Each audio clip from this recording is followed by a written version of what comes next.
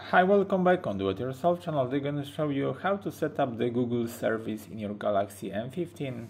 To do this operation, slide up, go to settings and search for the icon names Google, Google service here.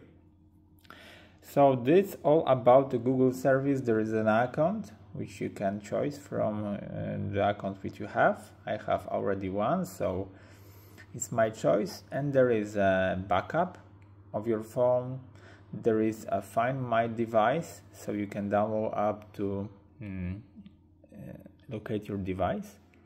There is autofill to fill forms with the saved from your google account so you can continue and you can add the google uh, wallet to get your credit card or uh, other cards uh, into your phone. So that's all about the google service.